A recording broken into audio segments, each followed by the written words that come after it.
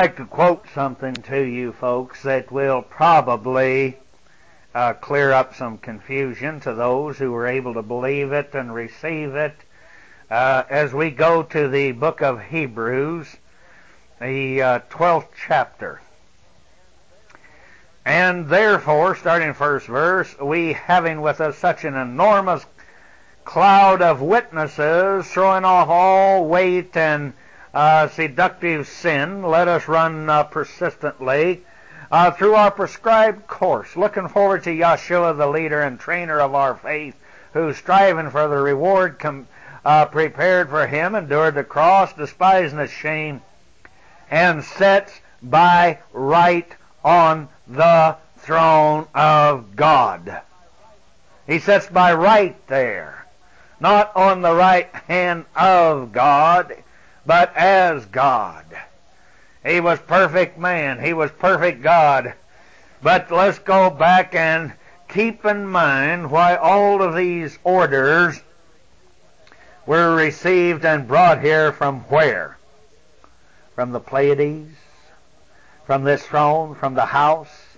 The morning star? Is it really a great giant space station with 12 floors? Imagine something uh, I don't know if you have ever driven across Arizona and New Mexico, uh, where you get up on one of those high rises and you look down through the desert valley and through the great monuments. And I always think of that song, On a Clear Day, You Can See Forever. Now what if your eyes were so good that you could see across a table or a level of a floor? In the middle of a great space station.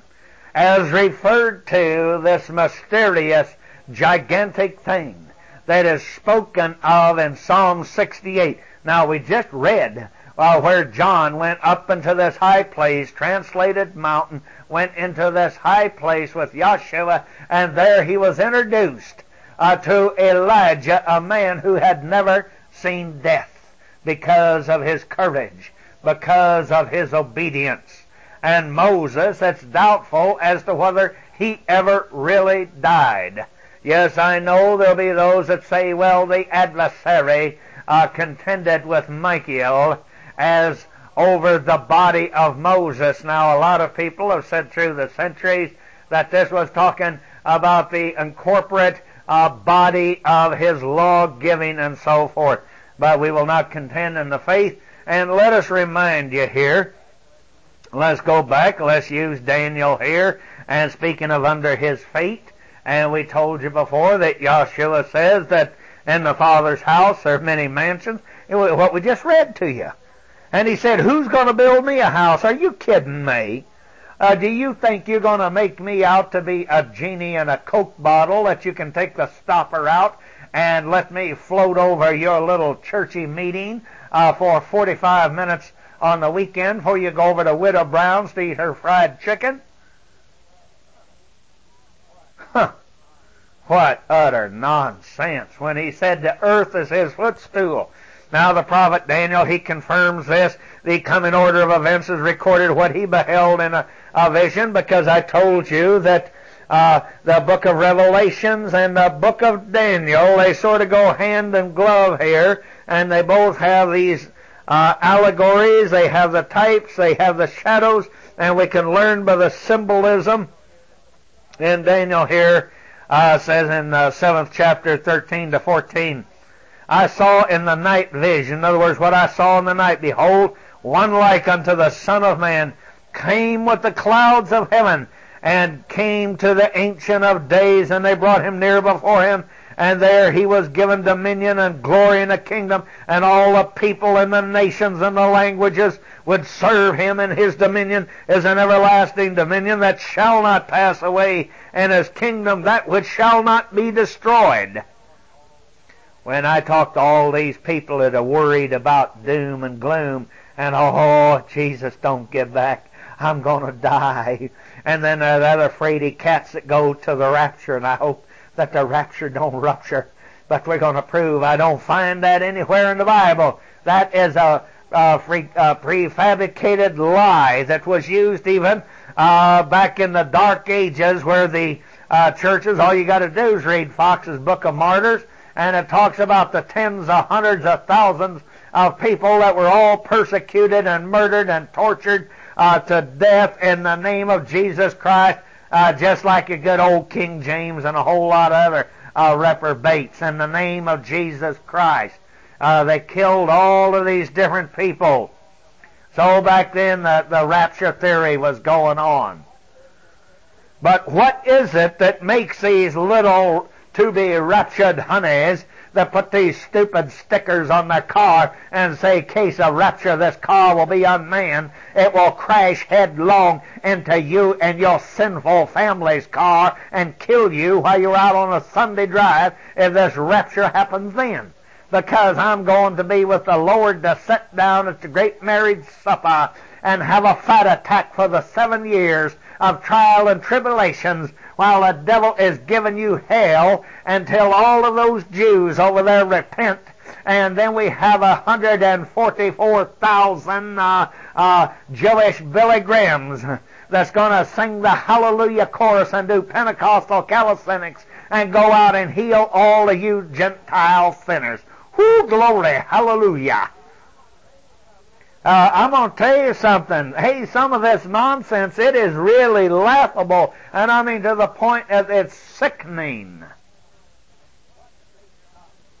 What makes us any better than the countless, without end people? They figure in the neighborhood of 60 to 70 million uh, uh, saints, Christian people who were murdered uh, in the Ukraine and the Slavic nations and throughout all of these different captive nations that constitutes the United States of the Soviet Republic. And are you going to tell me all of those, uh, uh, the estimates from 250,000 to 500,000 people, we're talking about little innocent children and little girls and mothers of those children uh, who were taught uh, that they would disobey, uh, that they were to obey their husbands. They were to obey the state. They were to obey the Fuhrer. And don't tell me that people uh, then did not still worship in the Lutheran religion and the Catholic religion and the Protestant religion. And don't tell me those people didn't believe in Jesus Christ uh, when they were wearing the belt buckles that said, Und mit Gott. Why was it that those people in that beautiful town of Dresden, that the brave American planes and the British planes uh, and the French and the Russian, and they went in there and they bombed those people. And when they took those that were still surviving, they took them out onto the uh, banks of what is the Rhine River, I believe, that runs through there. And then uh, uh, the English and the French and all, they went and strafed them while they laid on the river banks there. It was a hospital town. There was hardly a gun in the whole town. Why were those people not raptured? And why in the world are these raptured people today uh, that sit around and don't fight against this uh, abortion of a million and a half uh, murdered of our this uh, uh, genocide against our children? Why? We got to think, folks. Now, here we go back. We understand here that the dominion that was given to Yahshua the Messiah, the Son of Man, it consists of a sovereign power, a supreme authority, and it should be carefully noted here that every description of the Almighty here, the Savior, the Messiah, and His glory, in the Scriptures mention His feet. For this is the symbol, uh, the symbolism of His jurisdiction, His authority, describing what is going to take place in the kingdom age as we find the prophet Isaiah declared, For the nations and the kingdom that will not serve thee shall perish. Yea, these nations shall be utterly wasted, and the glory of Lebanon shall come unto thee, the fir tree, the pine tree, the box, to beautify the place of thy sanctuary.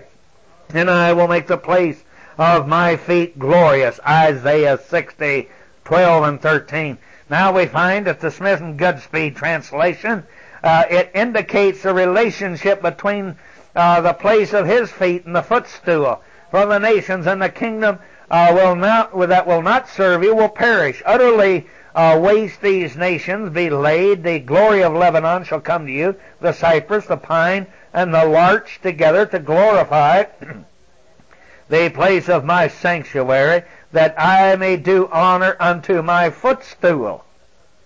All right, so the footstool, we know where that is. We're talking about this planet. Forgive me. Where's the throne? Boy, you don't know how many people I have made mad at me telling them where the throne is.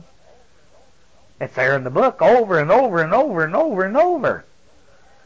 But we have these cavemen people running around here with degrees. I believe they have degrees in idiocy because you try to show them a scientific reality and a truth. And then we find the prophet Jeremiah, he shows that the earth is the Almighty's footstool. Now, how hath the Lord covered the daughter of Zion with a cloud in his anger and cast him down from heaven to the earth? The beauty of Israel and remembered not his footstool and the days of his anger. Lamentations 2 1. Hmm. Think about that. With a cloud in his anger. Someone's brought here in a cloud. Let me read that again. Keep that in mind. Think. How hath the Lord covered the daughter of Zion with a cloud in his anger and cast down from heaven unto earth the beauty of Israel? And remembered not his footstool in the day of his anger? Now, we find that the very fact here that we're talking about the Almighty, He has a throne in heaven, and the earth is His uh, footstool. This is also emphatically confirmed by another witness, another prophet, Isaiah. No, I'm not getting off the subject of Revelations. Because, hey, all through this first chapter, he tells you over and over where this is coming from, from the very throne room from the very mouth of the eternal through his mighty messenger uh, to the man John, not Peter, in Rome. I don't believe Peter was ever in Rome. But no, he talked to John to write unto the churches and show the people of a future date and age the type and the shadows and the allegories and why the uh, Semitic Adamic man has had to suffer because of his sinful stupidity and will not learn or pay heed to the eternal. And why have we had these butcher and butchery and the endless losing wars? Now let's go back. Allow me to quote Isaiah 66 and 1. It talks, uh, that's a chapter that talks about the great spaceships of the Almighty.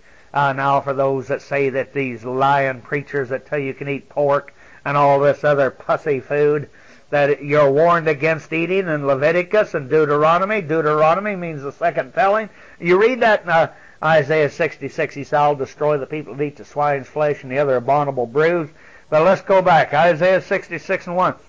Thus saith the Lord, the heaven is my throne, and the earth is my footstool. Where's the house that ye build unto me? Where is the place of my rest? Big super question mark. Where is the place of my rest? now, if you want to get back, and we've done quite a bit of study, we've shown hundreds of places and hundreds of positive proof that this place is very real. The apocryphal writings told of it. The lost books of the Bible told about it. The Old Testament tells about it. The 14 books of the Apocrypha tell about it. The New Testament tells about it. The book of Revelation is telling you about it. Now, Exodus 19 and 20. And the Lord came down upon Mount Sinai. On the top of the mount, and the Lord called on Moses up to the top of the mount, and Moses went up. But also in the same chapter, it tells you how he got up. Not like Cecil B. DeMille's climbing slippery rocks and bringing down a tombstone under each arm while it's thundering and lightning and raining. Torrential rains? No. He said, Moses, do you remember how I brought you unto myself safely? As on, as on, like Uh, here's the example like on an eagle's wings, something that flew that brought him safely there. Now let's take notes of the parable that's given in the 11th chapter of the book of Revelation. We're going to get into this, but allow me to jump ahead where it speaks of the two witnesses who symbolically represent you, these spirit-filled people, the men and the women, the daughters of the offspring, uh, the offspring, the very overcomers who give their testimony to the power of the word and to the Spirit and the termination of this period in the testimony that's uh, marked out by a very spectacular climax that we're going to uh, prove to you, and we're going to show you who these two witnesses are. Oh boy, this has caused more contradiction uh, in the scriptures throughout all of the centuries. And so John talks about those who are called uh, that uh, John was told to write down a special message for the attention of this specific group of Christians, and this was certified as a specific guaranteed of truth. And he saith unto me, Write, blessed are they which are called unto the marriage supper of the Lamb. And he saith unto me, These are the true sayings of God. I've jumped way ahead to Revelations 19 and 9. I'm giving you something to shoot for. I'm talking about a time in the here and now, and this time period. It's the belief beyond a shadow of a doubt. I believe this with all of my heart. That if you're alive now and alive to 2007, you will see this and you'll either be a part of it or somebody's going to be shoveling dirt in your face. Now it's stated here that they called and it's made clear from the previous quoted statement that we made here and from the 11th chapter of Revelation that the witnesses, the overcomers, they're called to come up hither. Come up. Come up. The Almighty invites you there. He sends a cloud limo for you. We've discussed this in other chapters, so we won't beat beat it to death. But isn't this exciting? He sends a limo to bring you to come up. Because, friends, where the eternal is, and his house, and you're given an invitation, I'm sorry we don't have anything as of yet that will fly there and take very many people. Now, so come up hither. This gives added emphasis to the exhortations of our friend Peter here. Therefore, the rather, brethren, give diligence to make your calling and your election sure. For if you do these things, you shall not fall. Uh, for so an entrance uh, shall be ministered unto you abundantly unto the everlasting kingdom of our Lord and our Savior Jesus Christ. You find it 2 Peter 1 verses 10 and 11. And it's talking about, while I'm on it, okay, allow me to run amuck here for just a little bit and to encourage you why you should go on and you should know these things and you should understand it. He talks about giving to the overcomers what is to occur at the marriage supper.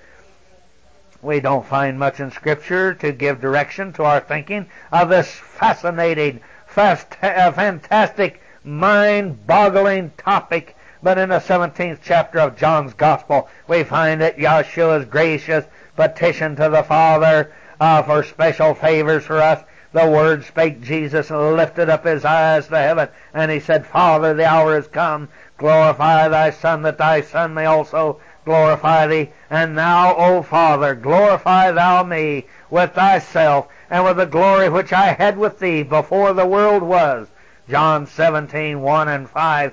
Now, if you want something to give you a better understanding of that and show that it is possibly applicable to you, I would take you back uh, to Jeremiah, and I believe it's in the very first chapter, and where uh, the Almighty says, Jeremiah, where were you, boy? before I formed thee in thy mother's belly. And Jeremiah in essence says, Thou knowest. He said, Jeremiah, you were with me before the world was. You want some mind-boggling, uh, thought-provoking uh, scripture? Go back to Proverbs, the eighth chapter.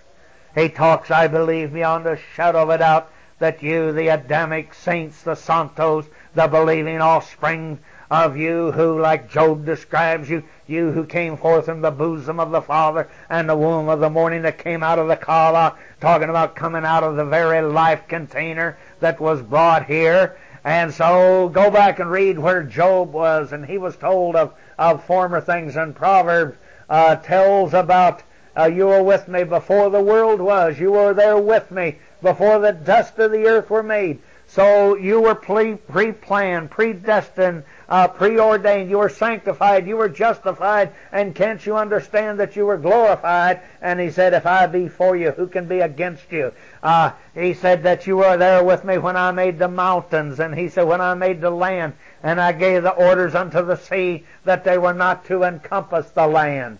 And then we go back and we tell you about these books that have been rejected uh, by these preachers and these teachers because they can't understand what they got. And so a little at a time they shovel all of these uh, prophetic books aside, like the one I'm hoping to reproduce now that is called, uh, it's one of the erroneously labeled uh, uh, the Lost Books of Ezra. It comes from a uh, pre-rabbinical period. It comes from about 100 BC.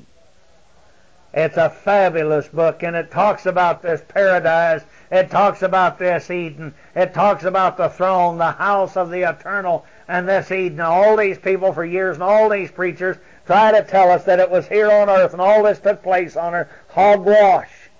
Because in there, it makes it quite clear. He said, I made Eden on the third day. That's age, eon, or time period. He said, I made it before, or, before I made the earth. All right. We'll come back down to earth, and we go back and where Yahshua went on to mention those who he said he claimed for his own, and I pray for them. I pray not for the world, the cosmos, see this world order, but for them which thou hast given me, for they are mine. John 17, 9. So we find in his final petition where Yahshua prayed, Father, I will that thou also, whom thou hast given me, be with me where I am, that they may behold my glory, which thou hast given me. Uh, John 17 and 24, the answer to this prayer enabled our Savior later to say, I appointed unto you a kingdom as my fathers appointed unto me, that you may eat and drink at my table in my kingdom, and sit upon the thrones, judging the twelve tribes of Israel. Luke 22, 29 to 30. And so, my friends, if you could only think beyond this realm, and a lot of people are going to say, here he's talking uh, to his 12 disciples, and I believe that may be so. But, but, did you ever think, and I say this not in vanity for you or for myself or anybody else, because let the Almighty, like He said, I will put every man in his place and he shall be satisfied. I'm not so vain, egotistical, and self-centered that I think that I am one of his special little honeys and have a right to go live in the throne room with him. I guess I will if he chooses. He knows best. I have never really become acquainted with my real self because the predominance of my life, my outer man, my earthly, conscious, carnal self has never been obedient. Oh, well, maybe on very, very rare occasion did my carnal self bow down to my spiritual self. Or should I say the soulish self becoming uh, obedient to the spiritual self. Because he tells us that which you can see, that's not real. That which you cannot see, that is real. And that it's just like a beautiful diamond, or like, shall we say, a rhombohedric, that it is, uh, it's a great mystery. And I'll leave you to ponder that as we go on, but we find that the saints of the Most High, the whole point is here that they're going to possess this kingdom as it's promised forever and ever and ever. And here's these clowns that tell us that the earth is so polluted and it's so this and that, and this one's just going to whoosh it's going to pass away. What have they got in mind that, uh, like a balloon, that someone pokes a hole in or, or the string comes off of it and all the air goes on and it just goes whoosh, whoosh, whoosh, whoosh, whoosh off into space and all of a suddenly, uh, here's a new earth, Shazam. Here's a whole new atmosphere, Shazam.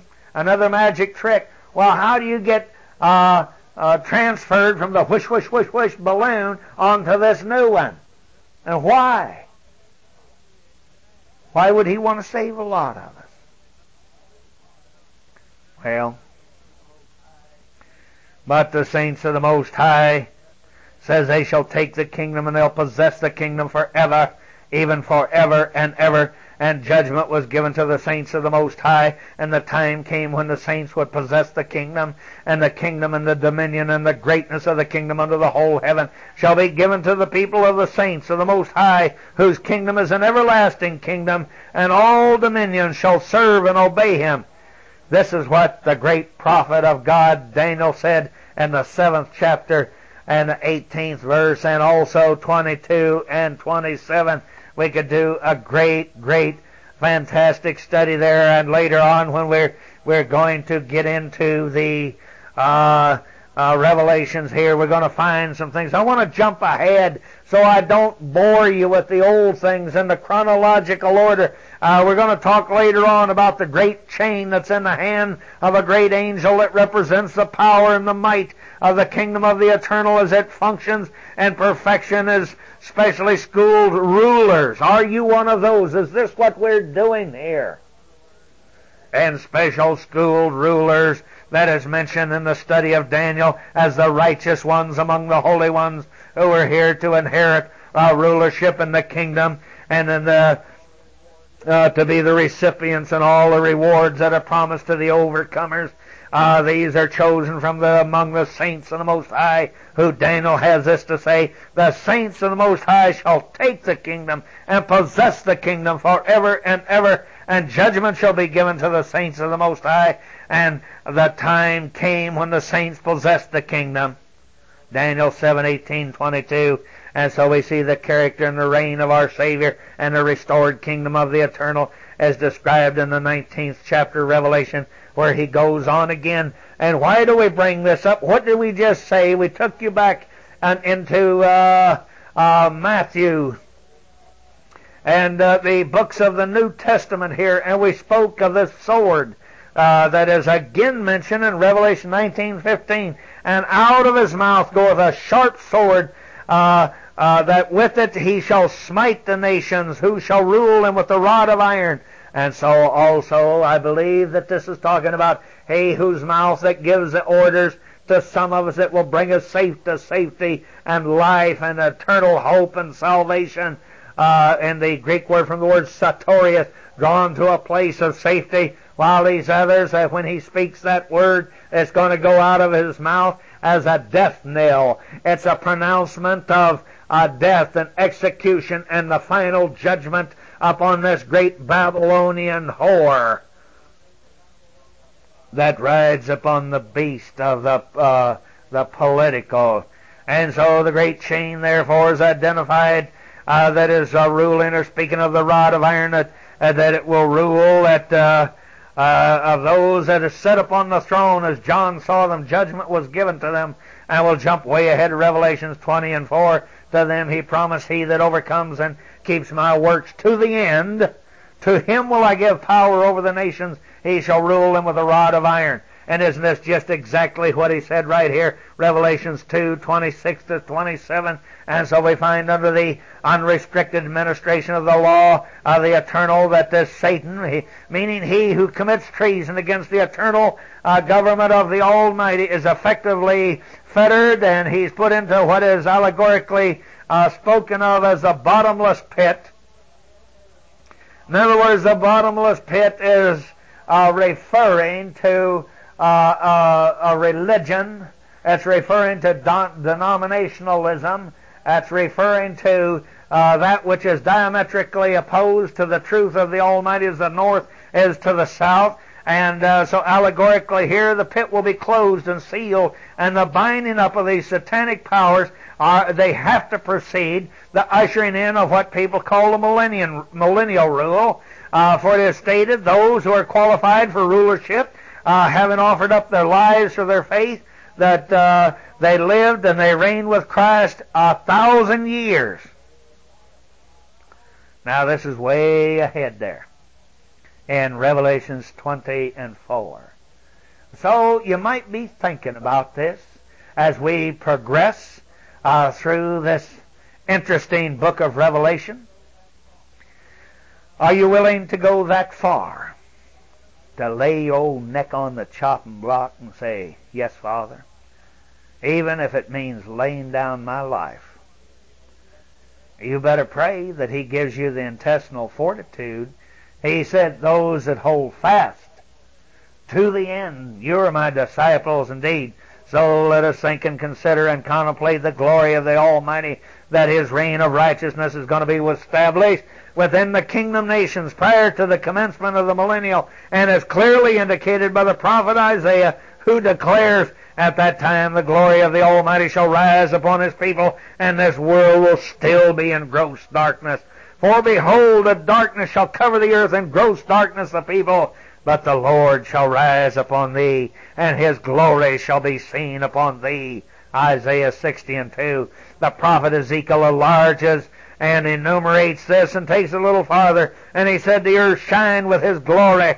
And Ezekiel 43 and 2, that this glory shall be seen by all the people, confirmed by the Almighty who declared through the prophet Isaiah, It shall come that I will gather all nations and all tongues, and they will uh, they shall come and see my glory. Isaiah 66 and 18. That's a great, glorious, mighty, powerful, overcoming chapter. So we're going to find that all men and women and nations throughout the world that are turned to the, the Most High in the millennial rule, and it will become universal over this whole world. And I don't care what these people say about this new world order. Don't you worry about the world order, but you better worry about whether you're on the right side and whether you're going to be involved in or have a place in in this new world order.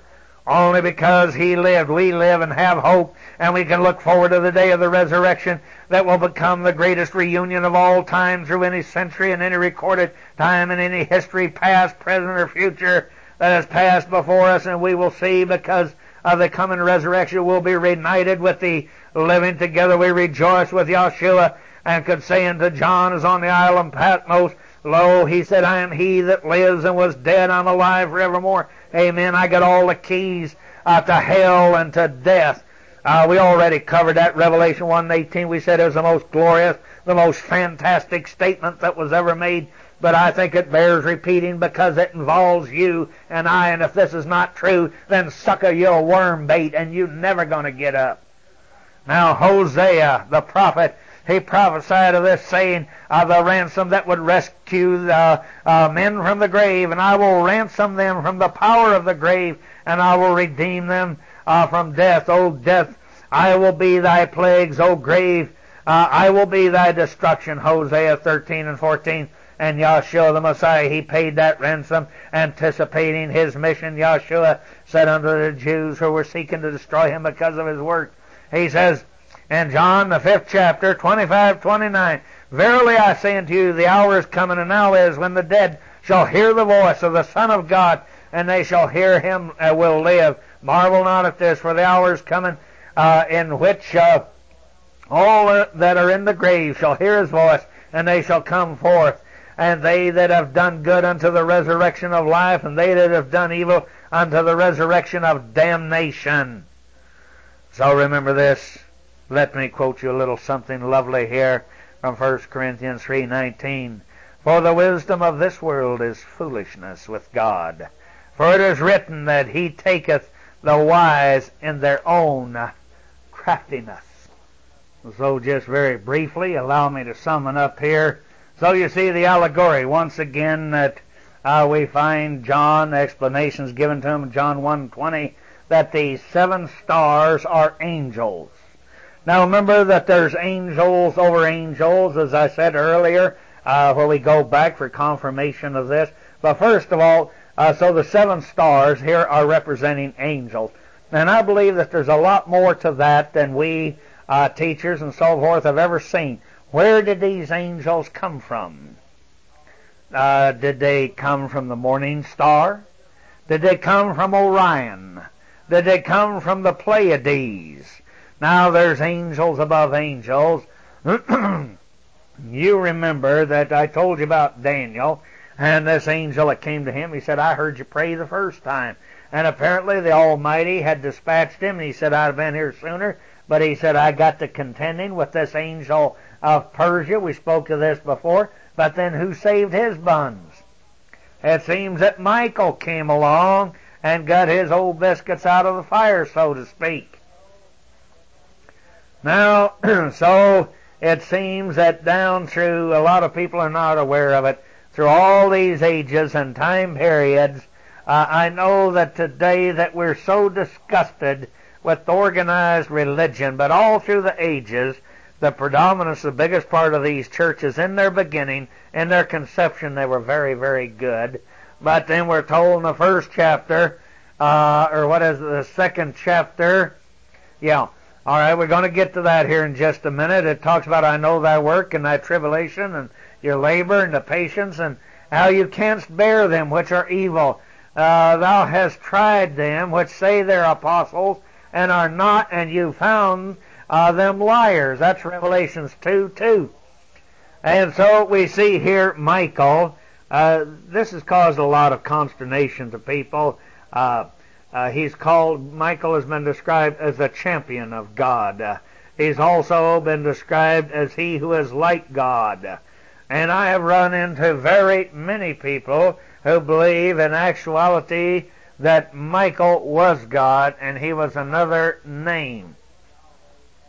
Just like the Almighty Yahweh has uh, quite a number of names that he's described by. Uh, we have the name like he, uh, Elohim in Proverbs 18 and 10, just one place. And Yahweh is he's uh, even in your King James, Isaiah 42 and 8. And then uh, uh, we have Yah, Y-A-H in Psalms 135 and 13. And we have where he's just described as El in Jeremiah 33 2, uh, in Eloha, uh, in uh, John 5:43, and Elyon in Exodus, I think it was 3:15, and then uh, Shaddai in Ephesians 3:15, and all these different names are all describing uh, the tenderness and the goodness and the merciful and the uh, all of the different descriptive terms that are glorifying the eternal. But still, it's speaking of the same person. But uh, uh, so much for that. Let's see here. I want to turn over and share something with you here in the fourth chapter of Zechariah. What a lot of people fail to understand here that the uh, now we we explain what the angels that they represented the stars. Now what are the lampstands? we find that most everything in the New Testament uh, has its origin, its allegory, its understanding. You have to know the Old Testament. I'm sorry about these New Testament Christians, those who have deceived you. The hour is very dark. You may be one of those foolish virgins. Uh, maybe it's too late for you to get oil in your lamp to catch up. Maybe it's too late for you to polish it uh, so you can make it through the midnight hour. Uh, there's a time coming that it's going to get so heavy duty here. People are going to be so concerned and so devoted and so inspired and so on tracked on the eternal, so busy fighting for survival that these people who I have them every day calling me and they're taking up my time and they're all writing to me and they're calling and on the phone they're writing. They want answers. They want exact times and dates. Whoever told them that I was a prophet? Did I ever say that I was? But you see, are these the foolish virgins that are going to steal my oil? The brightness of my lamp that I'm trying to clean up? If I share it with them, I may not have uh, go far enough and get enough oil for me to make it through the dark. Uh, excuse me for being selfish. All right, so let's go back so that we might better understand this thing of the lampstand. So we go back to the fourth chapter of Zechariah. Oh, this is one of my favorite chapters. You know, when we talked about the, uh, well, I don't want to be too repetitious for all of uh, these people who have gone to listen to hours and hours and hours of our tapes that where we went back and we explained this, uh, where it's talking about, well, like in the fifth chapter. It's the only place in the whole Bible that talks about two women angels or extraterrestrial messengers if you're reading a Ferrar Fenton, and they're a sorry couple of heifers.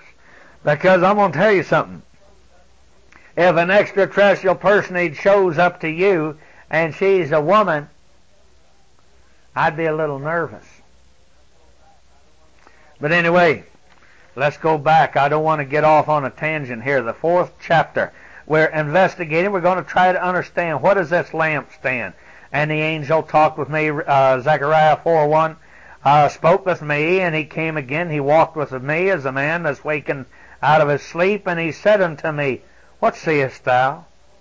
And I said, I looked, and I behold a candlestick, all of gold, and a bowl upon the top of it, and it has seven lamps thereon, and seven pipes to the seven lamps which are up on the top thereof. Now, and two olive trees by it, one on the right side of the bowl, one on the other side, upon the left side thereof. So I answered, and I spoke the angel that talked with me, saying, What are these, my Lord? The angel that talked with me answered and said unto me, Knowest thou not what these be? And I said, No, my Lord. Now, before we continue on, let's look back for just a moment and try to understand when all of this was going on. And let's take and, and refer to that time period. So we better uh, know and understand the situation and the context and the light that it was in and where were they and were they surrounded by all of these heathen people. And these were people that were coming uh, back out of uh, captivity uh, that had been in bondage in Babylon. They were coming with a great mixed multitude. As we um, examine the situation here, what we have is the testimony of a little handful of people that have come back from the Babylonian captivity to, reju- uh, re- uh, to uh, Jerusalem, not only to rebuild it, but they were to be, uh, rebuild a city and the temple. And uh, uh, we remember the priests Ezra and Nehemiah. They were among these exiles, as they're called. Also Zechariah. He was uh, prophesying at this time. But the main man, who was the political and the great military uh, ruler that was among them, was Zerubbabel. He directed the building uh, according to the angel of Yahweh that reminded him, kept him in his egotistical place, that he wouldn't get out of control. And he passed on, he says, Not by might, but by my spirit, say the Yahweh of hosts. You remember, except the Lord keepeth the city, it tells us the watchman, he watches in vain, and it doesn't matter about the armies or the weapons you got. Uh, for if the Heavenly Father, Yahweh, if He's leading and guiding you, and guarding you, that's fine. If not, you're not going to survive. Not by my, but he tells, and uh, back here he's warning Jeremiah, but by my spirit. Now we uh, left off here in uh, uh, 4 6, and he answered me, said, This is the word of the Lord unto Zerubbabel, saying, Not by might nor by power, but by my spirit, says the Lord of hosts. Who art thou, O great mountain, before Zerubbabel, that thou shalt become a plain. In other words, all these governments, he shall blow you down, I'll level you out, and he shall bring forth the headstones thereof, shouting, crying, Grace, grace unto it. And he goes on to say, Moreover, the word of the Almighty came unto me, saying, The hands of Zerubbabel have laid the foundation of this house, and his hands shall also finish it. And thou shalt know that the Lord of hosts has sent me. Uh, for who hath despised the day of the small things, and they shall rejoice they shall see the plummet of the hand of Zerubbabel, and these seven which run to and fro, uh, and these seven, they are the eyes of the Lord which run to and fro over the whole earth. Now, you know, I suspect and I believe beyond a shadow of a doubt that he's talking about uh, later on. We can connect it back to Daniel. Get your concordance out. You've heard me speak of before. He's speaking of the watchers. The watchers. In other words, a lot of people misunderstand and think that this is just watchmen on the wall, but it's God's watchers that spoke to Daniel, as I quoted in past tapes, uh, where in Daniel they spoke to him and they said, Look, we're anxious to be off to patrol the whole earth. And they go out to patrol the universe. They are the eyes of the eternal here. And so then he said, and I answered, I said unto them, What are these two olive trees upon the right side of the candlestick and upon the left side thereof? And I answered again, I said unto him, uh, What be these two olive branches, uh, which uh, through the two uh, golden olive pipes empty the golden oil out of themselves? And he answered me, said, Knowest not? Thou not what these be? And I said, No, my Lord. He said unto me, These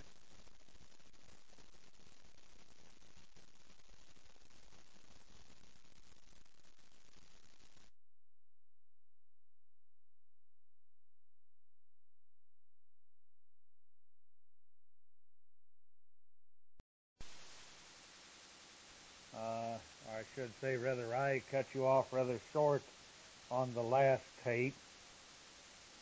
Let me go through it again. I've chosen to name this one the seven extraterrestrials. Now I know that again I'm going to lose some more people, but uh, that, that's too bad. If they're so narrow-minded, they won't at least hear me out. But I think that most people who are listening to this tape, I'm not too concerned. But uh, let me repeat myself. Uh, I have told people in times past that the word angel is a Greek word.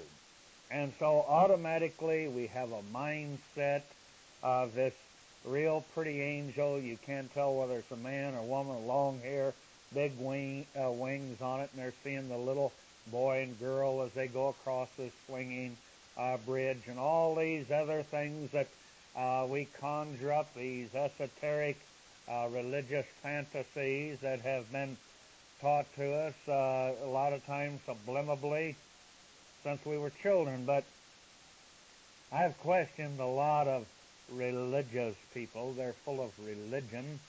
And I say, now let me ask you a question. You believe in angels? Yes, the Bible says so. And I said, now are angels from this world? No, they're from heaven.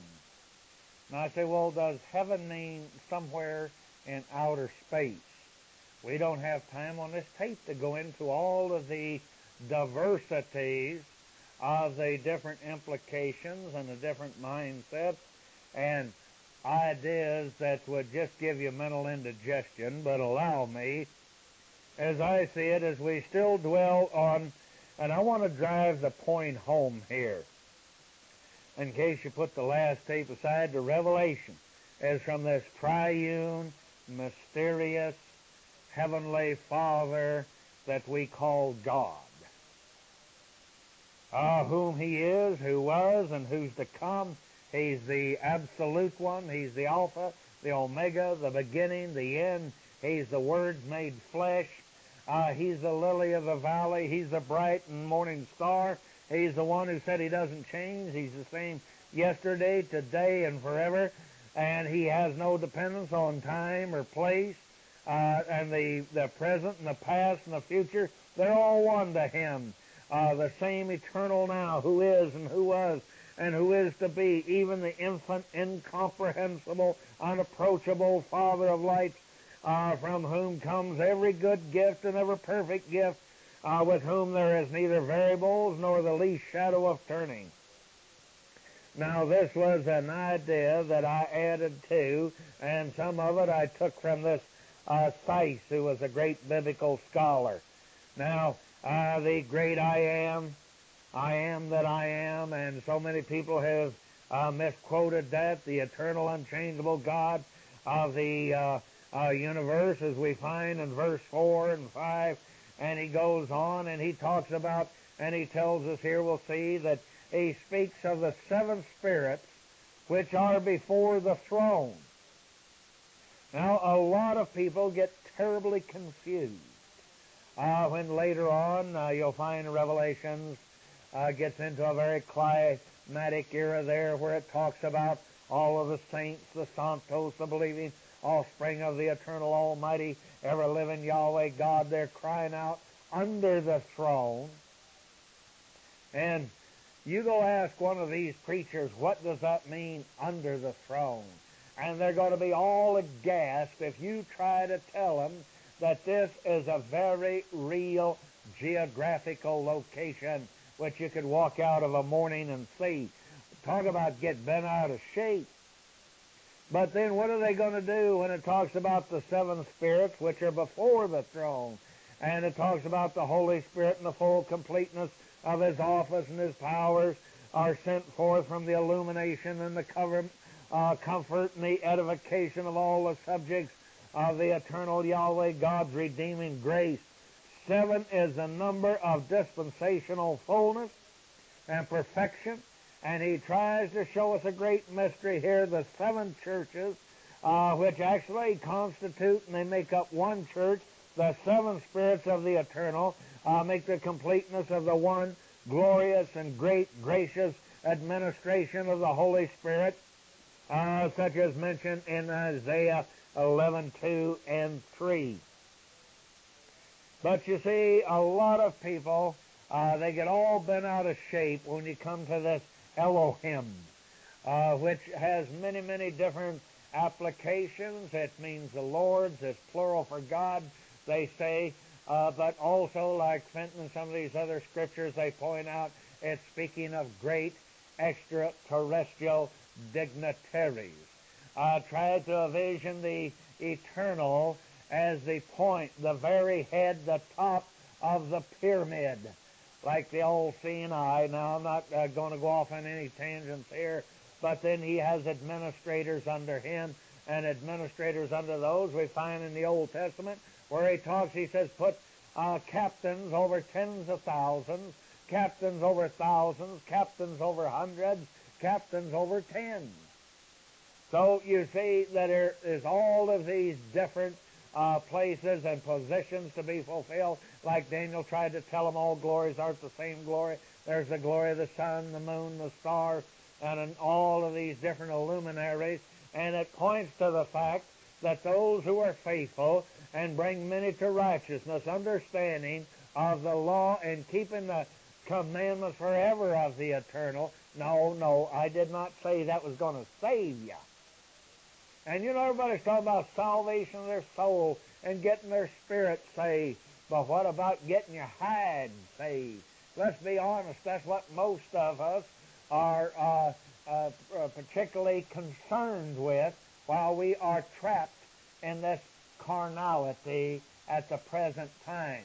Uh, because we're full of, I get calls every day. People are full of doom and gloom and fear, and they say, my goodness, what in the world is going on? What is going to happen to us next? And so this is why we're trying to establish these things, and I'm trying to uh, show a chronological order of this. Now, from time to time, uh, we will be just a little bit uh, repetitious here because this is for our admonition, this is for our learning. All right, let's go back uh, uh, to uh, what times are we talking about? You go back to what is termed 39. 96 a.m. Uh, and on the other side of that coin, uh, uh, BC or before Christ would be three or four years because a lot of people realize that there is uh, some grave error in our determination as to the time of the birth of one that's called Jesus Christ. Uh, a lot of the ancient scholars and scholars even of our century, back in the Dark Ages too, believe that October the 4th or 5th, four years BC, uh, the temple of uh, uh, Janus, J-A-N-U-S, at Rome was closed this year and open only in time of war and they're pinning the period down uh, to this Herod that was in power that he was 68 years old. So we jump ahead another year, uh, 3997 AM. Uh, brings us up to uh, two to three years prior to the set time they say that Christ was born. And we find these mysterious wise men that come to uh, Jerusalem that I have said in other tapes and uh, I don't care what the Masonic Order says, and a lot of these other cults have to say. Uh, nobody has ever proven and documented uh, to my satisfaction as to where these strange men came from, these kings. It said that they came from the east. Now, I know your King James said they followed a star, but that's not what it said in the original language. It said they followed a great light. Uh, and I would ask you, is there a possibility they came from light ships from planets light years away? Well, now hold on a minute. The Eternal said when He comes back, He said, I am bringing uh, my saints with me. I will collect them from the four corners of heaven or the universe. Anyway, so we find back in that year they came to Jerusalem. They were seeking this Yeshua. And we know, and we're pointing down the time, this was when Herod, he slew the children after Joseph and Mary had already fled into Egypt. You say, why is this so important? Now bear with me. I'm going to show you that it is very important so that I will be, prove, be able to prove to you and to the skeptic beyond the shadow of a doubt that this uh, book of Revelation, it's a prophecy ahead of time. It was covering the times of Yeshua and his uh, uh, execution, his resurrection, and the time period that John spent on Patmos. Uh, and it covered a period of 60, 70 years right then and there of history. And, and then it goes on and it tells things clear into our day. Uh, stop and think about those people. Say, well, we're not in Bible times anymore, brother. And I said, well, when did we get out of them? Would you give me the exact date? I would like to hear it. Well, glory. Now, we go on uh, the years uh, 910 AD.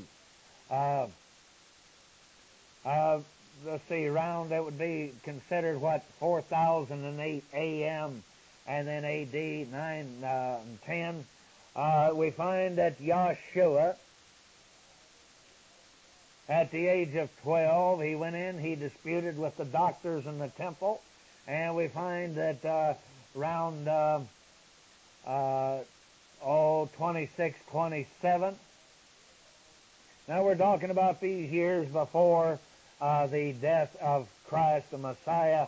And we saw, uh, we cover also the ministry of John the Baptist. And then from 27 uh, to 28, uh, we find the baptism around January 8th, uh, 28 AD, as it's entitled by most of the scholars, the beginning of the ministry of uh, Jesus the Christ. This was the 70th uh, post-exile uh, sabbatic year. I won't uh, take the time to go into all the great detail here because we're just covering in generalities. And so we got 28 and 29, the year of the crucifixion. And then uh, uh, when we get up into the period where we come here to uh, Revelations, round 2, uh, the second chapter, 1 to 7, uh, we find that he's speaking of a scattering of the early church around 30 AD to 64 AD. And we find uh, uh, this will be covering the uh, church of Ephesus period that's also mentioned in the same chapter. Now, to get to the point where I was talking or speaking earlier of the seven angels, the seven messengers, uh, sent and implied from the very throne of the eternal. Now, if you doubt this, we're going to cover this in a little bit. We're going to go back to the uh, book of Daniel. I believe that uh, Daniel had been praying in this great, mighty, awesome. There's all different types of angels that come to you uh, or come to the prophets of old. I imagine if they were coming to you, you certainly wouldn't be needing these tapes. But uh, Daniel, at one time, he had been praying quite fervently. He was a great man of God. I think we could learn by his example that he took a lot of time out of his day, in fact, three times a day, and spent several hours a day uh, praying uh, or on his knobby knees or whatever in communication with the eternal. And he got, so in the amount of time when he wasn't praying, he really got some things done. And you remember the uh, one uh, great extraterrestrial angel told Daniel, in other words, so many words, he said, I want to apologize. Uh, who was it? He said, I was contending with the angel of Persia or whatever. I'd have been here sooner.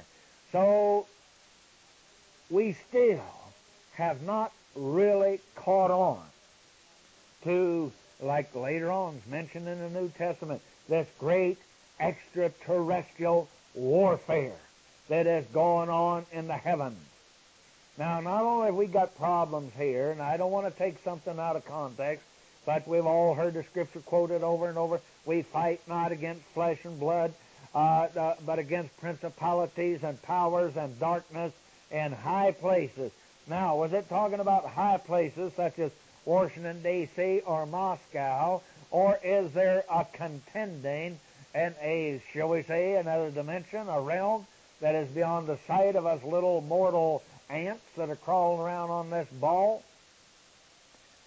Well, there's a lot to think about, and so uh, let's go back here and, and see uh, these extraterrestrial messengers, these angels, that were given special duties and jobs to watch over this uh, uh, these seven churches. Now, you remember in Asia and throughout the world there, there was many, many uh, churches that were converted to and following the Messiah, uh, this uh, new stage of the old faith now called Christianity, uh, meaning like Christ followers.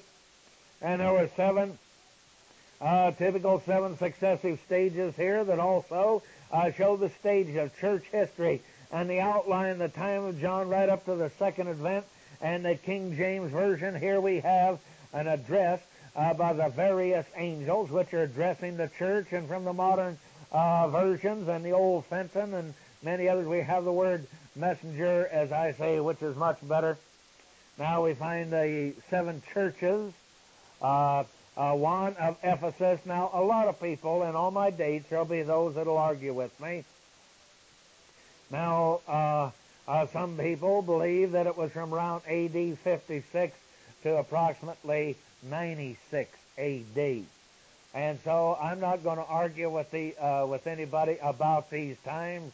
Uh, so what's to be gained by it? So I'm flexible. So we find unto the angel or the messenger at the church of Ephesus, write these things, uh, say he that walks in the midst of the seven candlesticks. Now, as we said, and I applied upon the other tape, uh, you go back and you read Job. Uh, there was a man in the land of Luz, is what the Ferrar Fenton. Now, the word land is from Eretz, meaning that land, that globe, that world. Not like your King James, uh, uh, the land of Uz, or whatever it was. That's where we get Alice in Wonderland and Toto. Or are we in Kansas now? That's the trouble with the silly little uh, mortal men that we are, walking in shoe leather, uh, trapped here, held captive, uh, till we learn a terrible, horrible lesson. But we can't seem to look beyond ourselves and imagine how big and how great and what a great panoramic view we should be taking of this Almighty God that we do praise. In fact, you go back and you uh, read from the book of Job how he was uh, uh, questioned by the Eternal uh, when he said, you know, what about the Pleiades and what about o- Orion and who can break the chains of it? And, and Job, man, he was just mystified. He said, oh boy, I, you know, and, and uh, those of you that have listened to our other tapes, we've looked up many places where it talked about Abraham walked with God. It was talking about uh, flying, going great distances, having personal interviews with our Heavenly Father, the Father of all creation. But a lot of people have trouble with that, so I'll just let that go. And so uh, people say, well, what's the Ephesus? I say, well, it, it has a meaning. It means to let go or relax from effort. Uh, although commanded, uh, commended uh, for some very good points to the church, a lot of good deeds. They're doing a lot of good things. But warning was needed. So, you see, here we go. I don't want to be crass. I don't want to make light of this. But you see, Christ hadn't even left the earth. Real good, so to speak. Here were, uh, uh, you know, several generations who had seen and heard of these awesome, mighty, powerful things that he had done. It's just like uh, me talking to the young kids of today, and I tell them I was alive at the time of the bombing of Pearl Harbor. And I can remember when we first heard it, how frightening and all. Even though I was a little kid in short pants, and I knew other men that were older than me that were in the military, and in my family we had friends uh, who were sunk and died there, and, and it's something uh, that you never forget, and, and has not stopped being talked about. But here, Christ hadn't even gone home, and already it says that they were becoming relaxed. Uh, they had slipped from any real effort. Now allow me to go on. I know your works and your labor and your patience and you, uh, how you've tried them who say that they're apostles and not, uh, and are not. Now we find that Yahshua here, uh, we find that uh, he or his spirit or however he does it, he walks among the churches, he gives encouragement, uh, where warns showing that he is alive and he's still active and he's still the head of this church.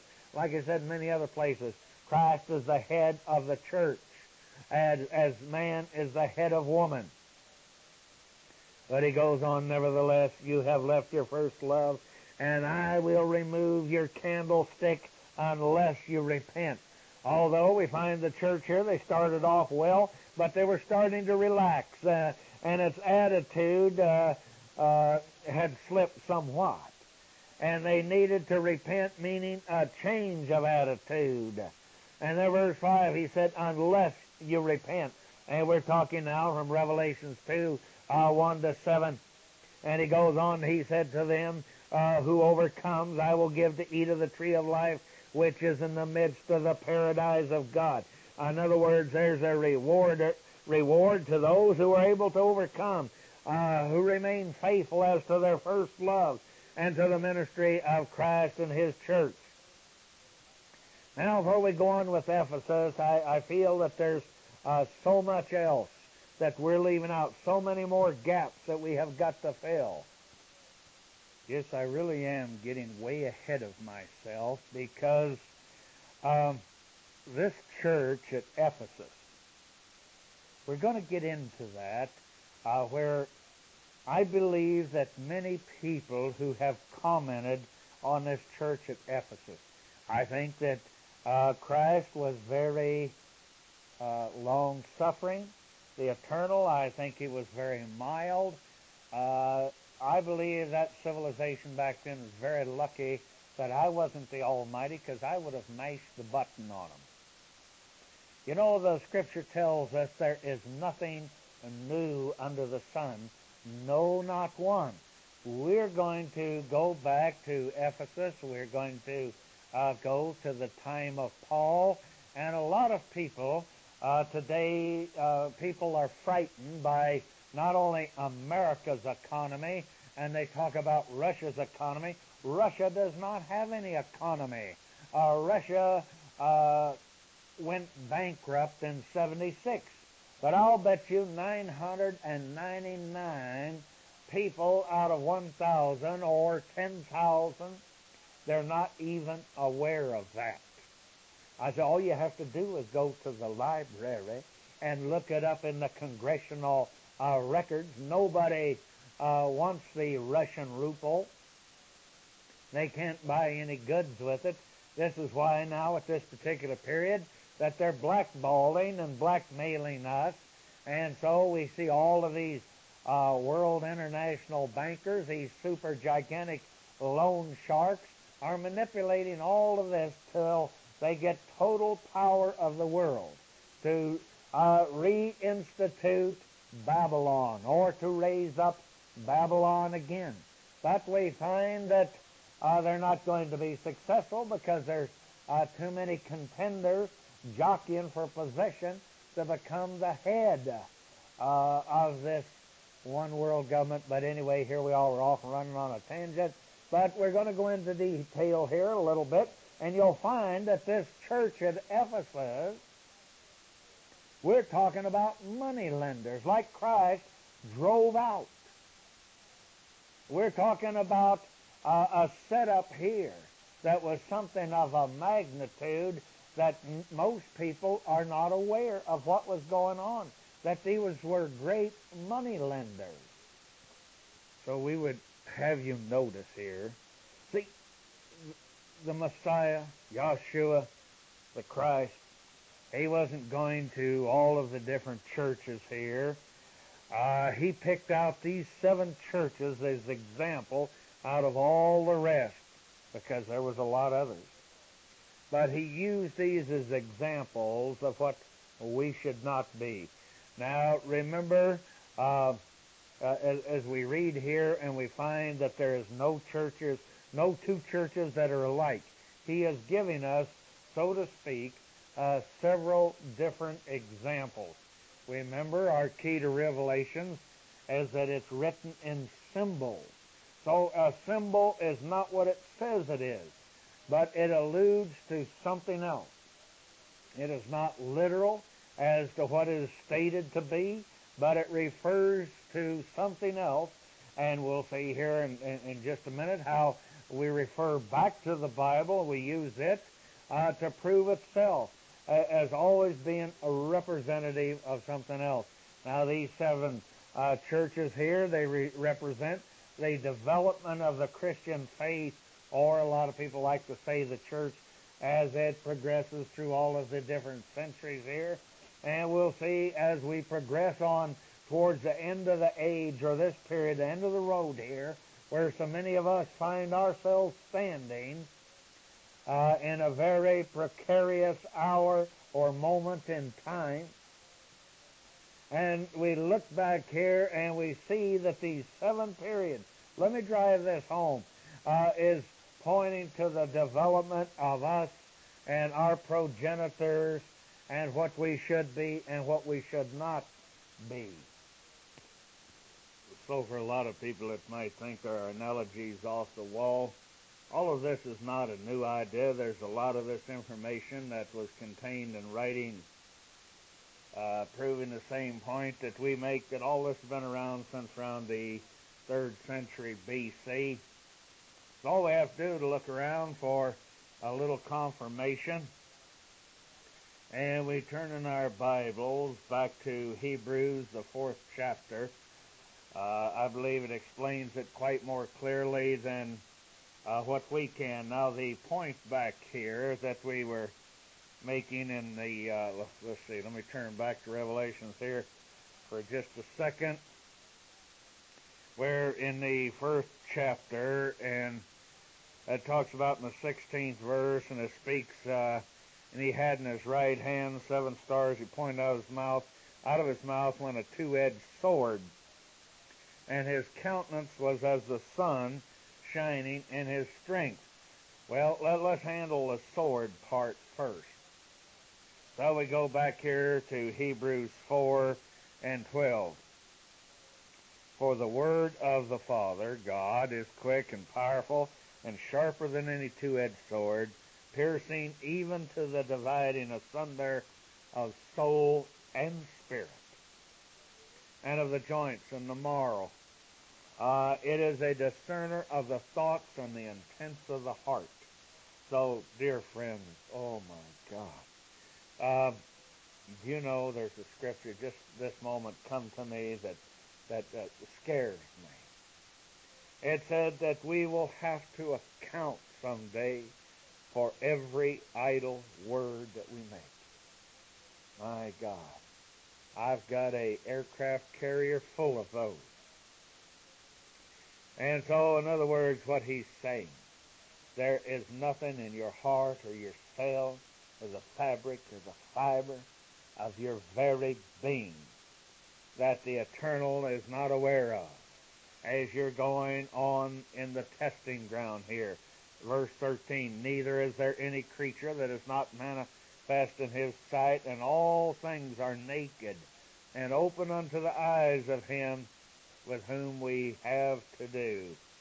Verse 14, seeing then that we have a great high priest that has passed into the heavens, outer space, Yeshua the Son of God, let us hold fast our profession.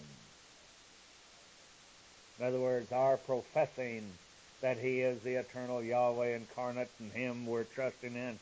Ah, for the verse 15, for we have not a high priest which cannot be touched with the feelings of our infirmities, but was in all points tempted like as we are, yet without sin.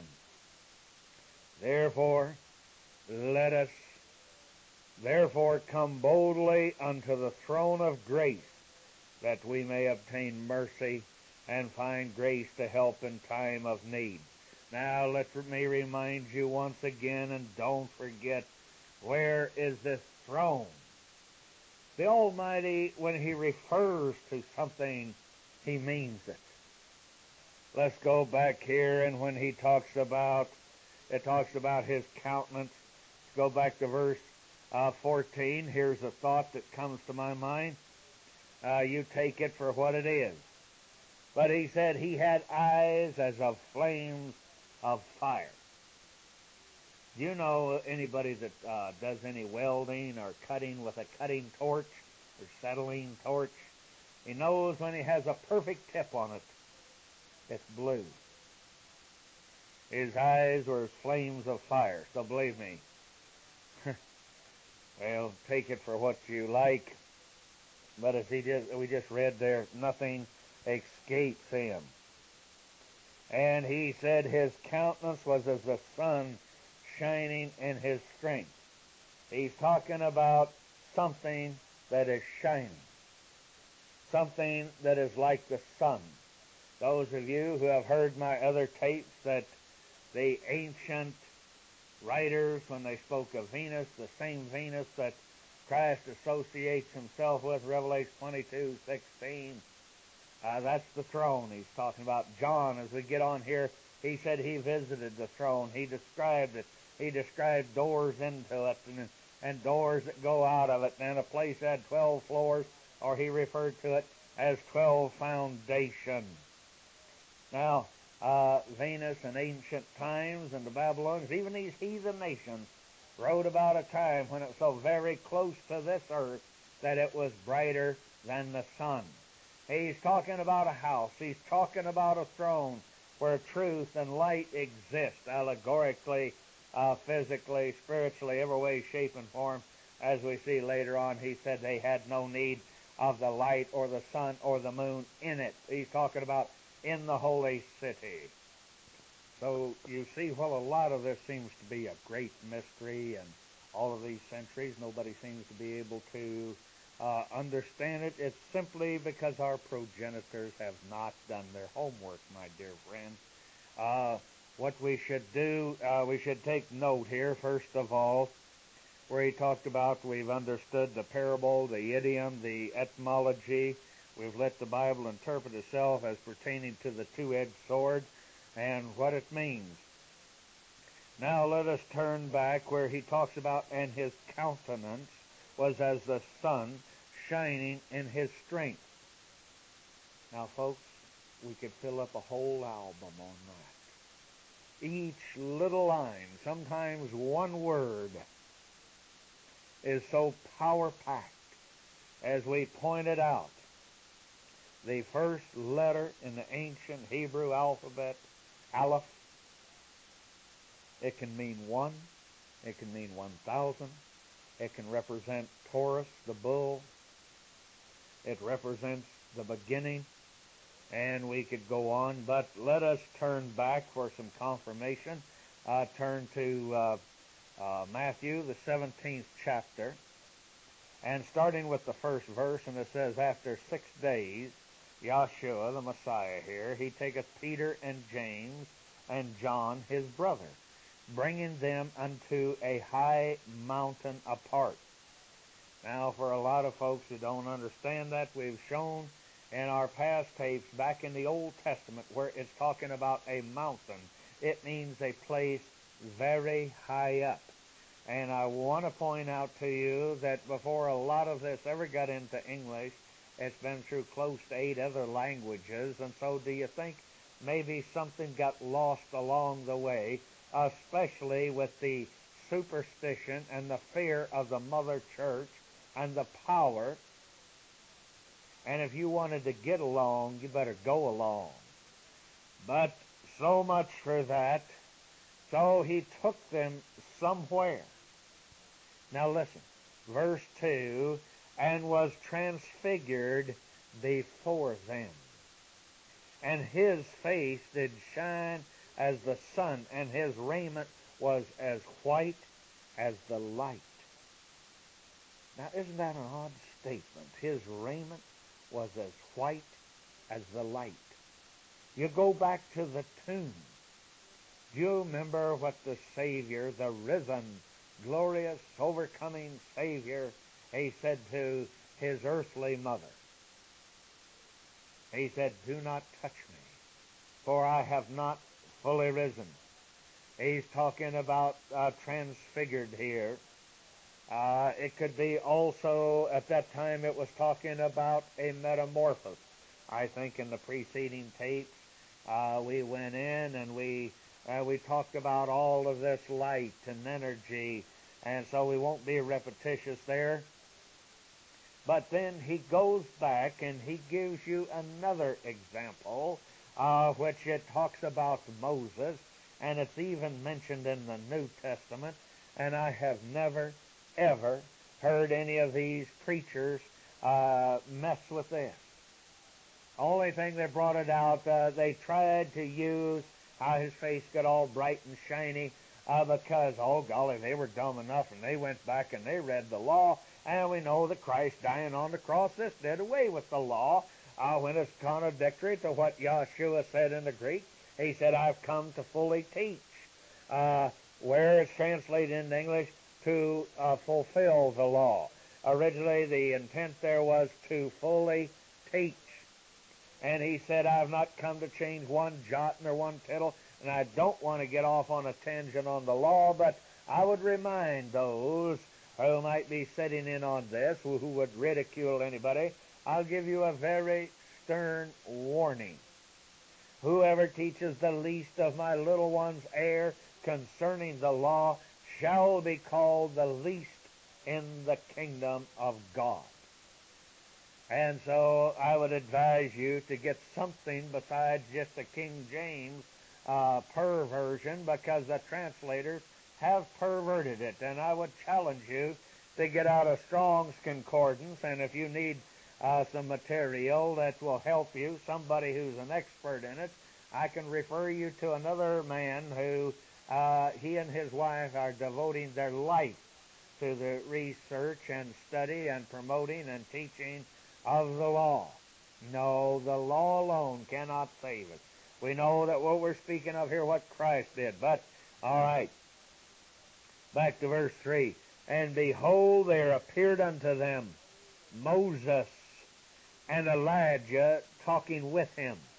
Do you remember, even the New Testament refers to it, I won't quote you all the scripture, but Moses came uh, back down off the mount, the great mount ships. Uh, we've spent endless tapes on this and given you all of the different references and the concordances and uh, different uh, uh, books that give us insight into the ancient idioms and the parables and the and the language, and we have quite well proven our point that they went up in a great mount ship, the same one that landed in Exodus, and they were to put a perimeter around it, and they're told in that one chapter three times that they were to go down and wash wash their bodies, wash their clothes, do not go in unto your wives and everybody who's even would come near that, I say, oh, this is all religious ritual. Oh, no, no, no, no. That doesn't make the Almighty grin.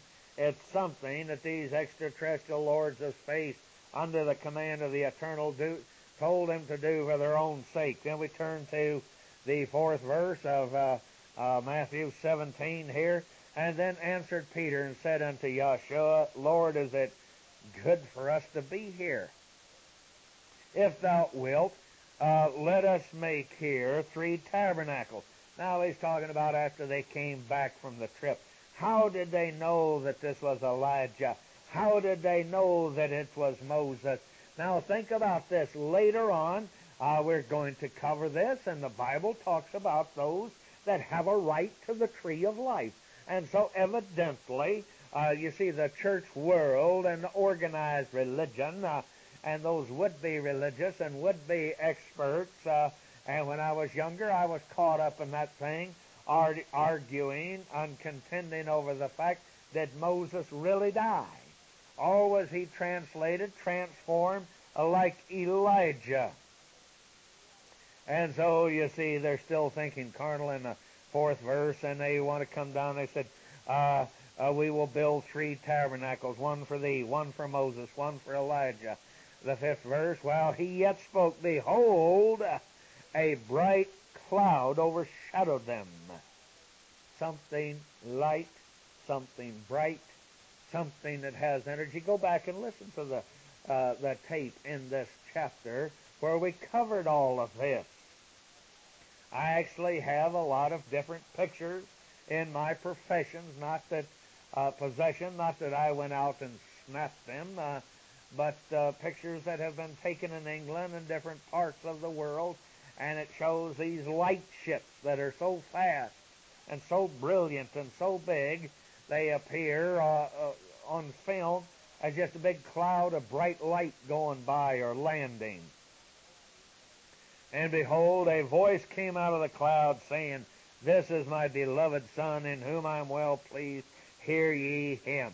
And boy, this has caused a lot of consternation and people arguing that, you see, they we all want to limit and we have our own vision of God and what He should look like and what He should uh, be, and He can't have any dualities. He can't take uh, different forms. This is why He's God because you don't understand him and I don't understand him. And when the disciples heard it, they fell on their face and they were sore afraid. And Yeshua came and touched them and said, Arise and be not afraid.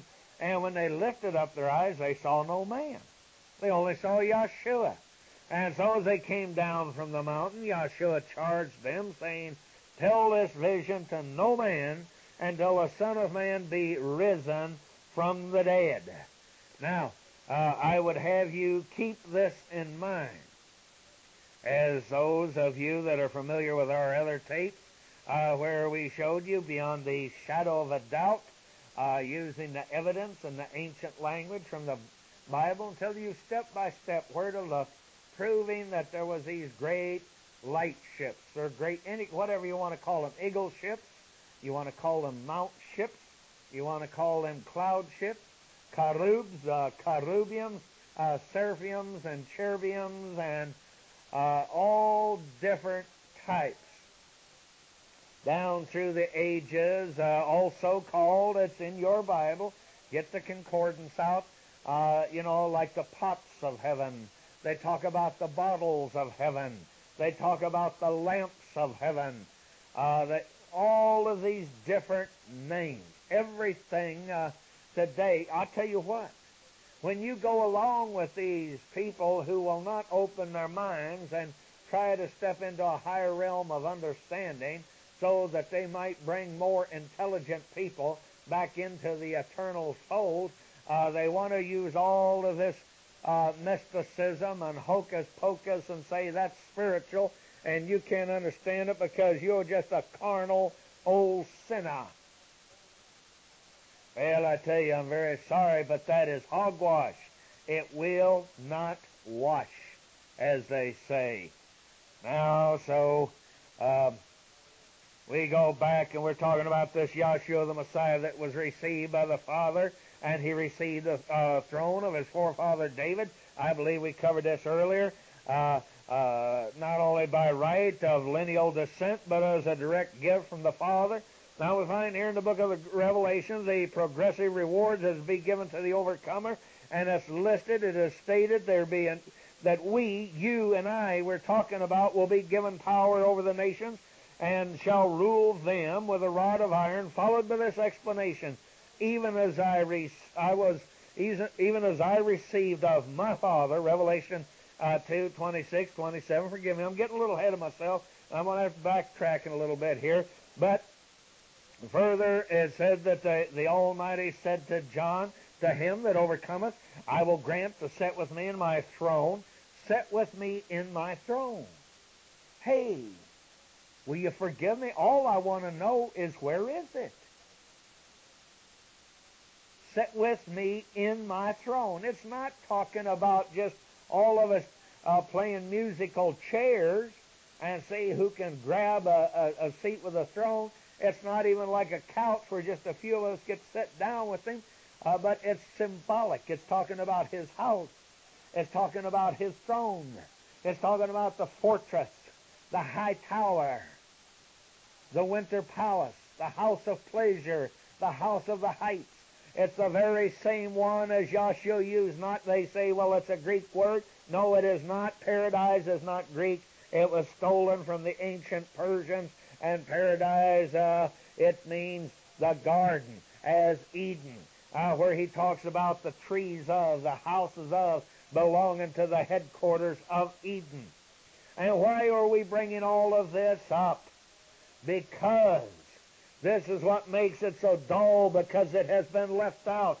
And if people could only understand from where and what authority and what great height and all of the trouble that was uh, taken to bring this down to lowly, carnal, sweaty, stinky, grubby earthmen in all of our carnality so that we might overcome. And he said, He that overcomes, I will grant to sit with me in my throne, even as I overcome and have set down with my Father in his throne. Now that's Revelation 3.21. Forgive me, I'm getting ahead.